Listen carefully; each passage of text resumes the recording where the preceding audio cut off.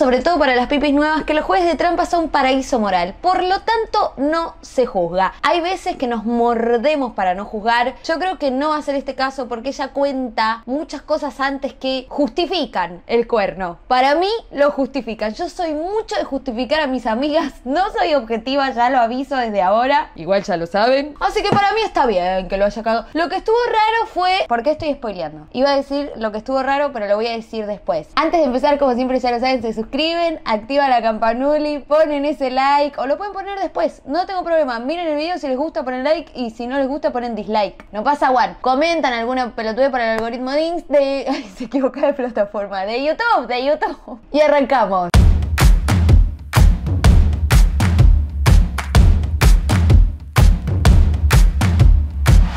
Hola pipifia, hola pipis. Quiero contarles esta historia que para mí fue un antes y un después en mi vida. Espero me leas y no me juzgues. Y esto último también me lo digo a mí misma, que fui la primera en hacerlo muy duramente por mucho tiempo. Contando brevemente mi historia amorosa, básicamente el resumen es que con todas mis parejas yo andaba mendigando amor. Me suena de algún lado. Nunca sentía un amor recíproco. Llegué a pensar que mi manera de amar estaba mal, que quizás era demasiado intensa, que quizás ponía demasiado el corazón. Me parte el alma un poco esto, quiero decirlo. En esta última de esas relaciones tristes me sentí completamente boludeada y utilizada y decidí que no quería estar con nadie más. Que si estaba con alguien, básicamente esa persona me tenía que rogar para estar conmigo. Yo ya no quería estar detrás de más nadie. Quería que por una vez fuera a mí a la que buscaran. Porque nunca un punto medio la pipi comunidad, ¿no? O como que vamos de un polo a otro. O somos las víctimas o somos las victimarias. ¿Qué nos pasa? En el medio una relación sana ni en pedo, amichas, ¿no? Pero bueno, cada uno hace lo que puede en esta vida. Y así fue que conocí a un chico, llamémoslo Richard, ponele, guiño guiño, me dice. O sea, nombre falso, ya sabemos, mejor, mejor. Así después no nos mandan cartita documento, amor. Él era dulce, súper inteligente, atento, un chico que me demostraba que me quería, que quería pasar tiempo conmigo, que me cuidaba. Ah, dirán todas, banquen. Fue la relación más tóxica que tuve en mi vida. Pero la puta, que nos engañó, hemos sido engañadas. Porque siempre pipi, nunca en pipi, los primeros meses fueron maravillosos. Fue prácticamente mi primer todo, a pesar de que yo ya había tenido parejas antes. Mis parejas anteriores eran muy poco sexuales y la verdad no me habían dado lugar a probar cosas, ni tampoco me hacían sentir deseada siendo sincera. Yo siento que lo que está diciendo es que con este cogió por el orto. Como. ¿Alguien más interpretó eso o yo ya estoy muy quemada? Tipo, me imaginé sexo anal, turca, leche en la cara, como se sentó en la cara del chabón, como cositas, cositas, cositas que mi mente eh, fue como haciendo la escena. Porno. Con él todo fue mágico, probé muchas cosas, no solo sexuales, estoy intentada, porque me la estoy imaginando golpeándose con la chota del chabón en la cara, no sé por qué. Basta, basta, concentrémonos. Todo era una novedad. Con él duré tres años. Pasaron varias cosas obviamente en esos tres años, pero creo que si las cuento este mail va a ser eterno. Así que voy a lo importante, que es básicamente cómo se transformó la relación. La típica, ¿no? Que al principio todo bien y después termina siendo un tóxico del orto. ¿En qué momento pasa que no nos damos cuenta, no?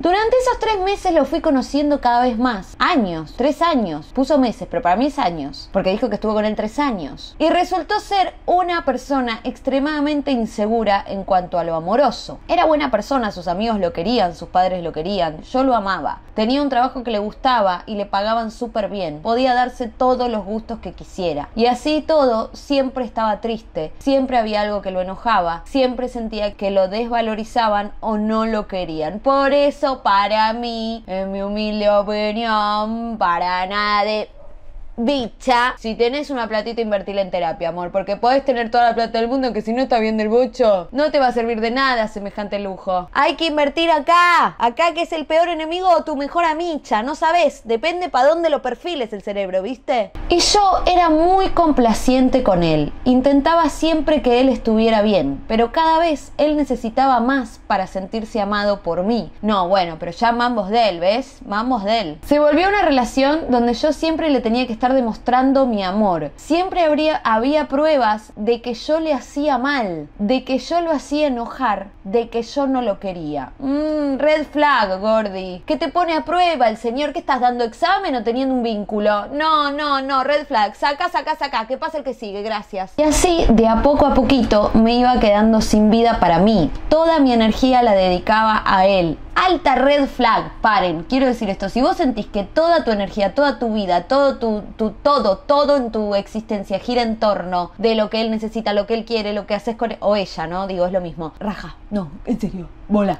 Tómate el palo, eso es una relación tóxica. Disfrazada de romanticismo, pero tóxica al fin. Dejé de ver a mis amigos porque él se ponía celoso. Dejé de hacer muchas cosas por miedo a que él se fuera a enojar. Me mato. Si en algún momento ponía mi energía en otra cosa, como por ejemplo en algo para mí, él se sentía inseguro y sentía que lo había dejado de lado. No, bueno, pero que resuelva. Yo no quiero bardearlo al chabón con sus mamos porque quién no tiene mamos con la inseguridad, ¿no? Hola, ¿qué tal? Anótenme en esa lista. Pero hacete terapia, amor. No, no, no, le, no le vayas cagando la vida a los demás porque vos tenés mambitos. Todos los tenemos. ¿eh? Cada uno lleva su mambo como puede, sin salpicar de mierda al resto en la medida de lo posible, ¿no? Gracias. Salvo a la psicóloga, Mari sí la salpico de mierda, pero como a ella le garpamos, ella después ya le chupa un huevo. Siempre que discutíamos, no sé cómo yo siempre terminaba teniendo la culpa. No es de manual, chicas. Y yo me preguntaba, no puede ser que siempre sea mi culpa, algo tiene que estar mal. Pero de alguna forma siempre tenía argumentos sólidos de todo el mal que yo le había hecho. Ay, qué pesado.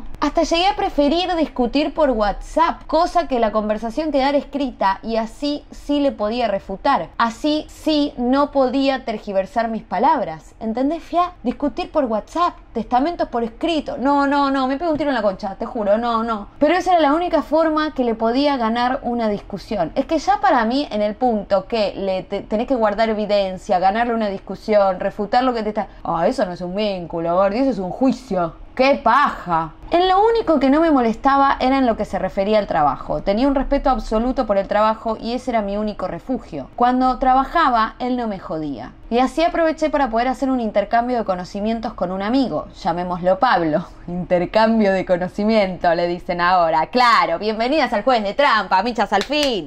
Hola, Pablito, un gusto, adelante. Pasá, pasá, corazón, ponete cómodo. Y sácate la ropa. En principio, realmente nació así, dice ella. Necesitaba esa información y esas clases para poder trabajar. Y es lo mismo para conmigo. Ambos amamos enseñar, entonces esas clases eran eternas. Poco a poco, mi profe se volvió muy amigo mío. picarona. Él era una persona sencilla, muy alegre, tenía una historia difícil donde había arrancado de muy abajo con una familia que no lo apoyaba ni lo entendía. Y él, así todo, veía la vida con muchos colores, como una constante maestra de quien aprender a ser feliz. Richard tenía todo para ser feliz y aún así era depresivo. Pablo tenía todo para quejarse de la vida y aún así era un risueño, siempre luchando por sus sueños. Creo que eso fue lo que me enamoró de él. Ah, igual pobre Richard si tenía depresión, lo banco. Pero a la vez eso no tiene por qué convertirlo en un tóxico. Soy un panqueque, voy y vengo. Empezamos a sentir cosas el uno por el otro. Tardamos bastante hasta que pasó algo, ya que a mí me carcomía la culpa por estar pensando en otra persona. Él no tenía ganas de meterse con alguien que tenía pareja, pero la atracción se hacía cada vez más fuerte hasta que sucedió lo inevitable. Y lo que pasa que juntarse, juntarse, el intercambio de conocimiento, intercambiame eh, otra cosa también, ¿o Recuerdo que la primera vez que estuve con él, instantáneamente me puse a llorar de culpa. Ja, ja, ja, pobre Pablo. No, Pablo es un garrón, se comió. Y él siempre tan comprensivo me consoló, con el pito duro. A la semana se declaró la, la cuarentena y me dio un poco de paz no volver a ver a ninguno de los dos. Tenía las emociones a mil. Pablo tenía un trabajo que le permitía salir, así que después de un mes entero de solo mantener conversaciones por WhatsApp conmigo, me vino a ver y claramente seguimos estando. Por otro lado, Richard tuvo un ascenso en el laburo, que lo tapó de trabajo y tenía un trabajo que podía hacer home office, así que se la pasó en su casa. Esta combinación hizo que me la pase viendo a Pablo cada vez más enamorada de él, pero sin fuerza de poder cortar con Richard. Ah, hiciste la doble vida, Micha. Sin juzgar. A Pablo se le empezaron a escapar unos te amo. Y a mí se me revolvía el alma entera. Me sentía muy mal. Me decía a mí misma, ¿qué estás haciendo? A uno le decís te amo y le mentís en la cara para verte con otro. Y al otro que en teoría también está sintiendo que lo amás, lo ocultás, lo dejas como amante sabiendo que él quiere otra cosa. Se esconde en el baño cuando el otro te hace una videollamada. Ay, vos estabas con Pablo, te llamaba Richard y Pablo se escondía en el baño para que no lo vea. Ay, no, yo no puedo con ese estrés, te juro. Ya me, se me cierra el pecho, me duele la cabeza de pensarlo nada más. Y así estuve prácticamente un año con los dos. No, amiga, yo termino internada. Te juro con un brote psicótico con delirio místico. Me carcomía la culpa, tenía pesadillas, me sentía mala persona, una basura. Pero tenía miedo de cortar con Richard, de su reacción, del qué dirán. ¡Ah, qué estrés! Recuerdo una pesadilla que la recuerdo ahora y me da escalofríos. ¿Dónde, perdón? No es que me tiento porque la pesadilla es muy bizarra, escuchen esto. Me hostigaban como dos especies de tentáculos y aparece un monstruo medio bordó, bajito, de ojos grandes, que me mira como con media sonrisa. No dijo nada, pero sentía que me decía con sus enormes ojos, no sé de qué te quejas, vos te lo buscaste. Y ahí de repente se transforma y como una especie de huracán entra en mí por la concha y me explota en el pecho. Cuando explota mi pecho me despierto gritando y llorando desconsoladamente. Fue la peor noche de mi vida. ¿Qué, qué gráfico el sueño. ¿Hay alguna psicóloga en la sala que pueda analizar esto? Para mí es como la culpa de la doble vida, de que todo lo que te está entrando por la concha te explota en el pecho. Eh, es un montón.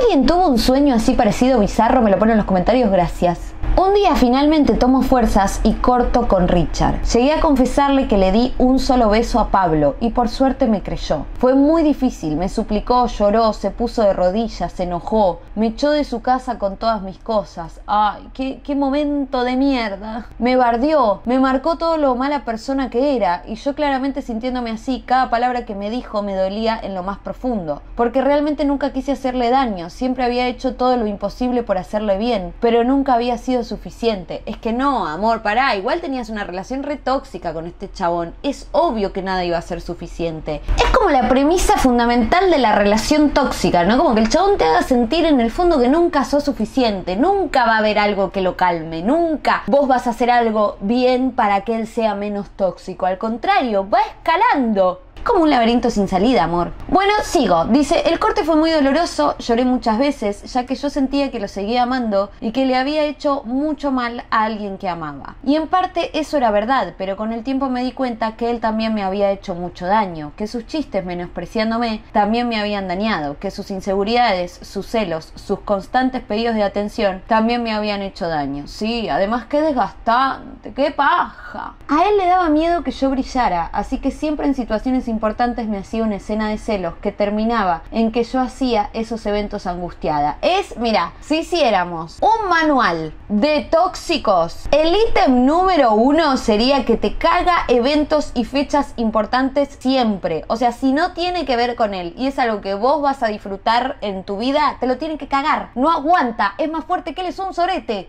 Léase cumpleaños, festividades, recibimiento, salida con amichas, vacaciones, lo que sea que no lo incluya el chabón e implique que vos seas feliz sin él, lo tiene que boicotear. Confirmen, pónganme en los comentarios qué momentos les ha cagado un tóxico. Por favor, gracias. Es para un TP. No justifico lo que hice, dice, sigo considerando que está mal, pero entiendo que también fue un proceso, donde yo no había madurado lo suficiente para poner límites, donde no me había querido lo suficiente como para rechazar cosas que no quería hacer. Siempre creí que el que era infiel era mala gente y que yo jamás habría hecho algo así, y cuando lo hice y lo sostuve, me sentí la peor.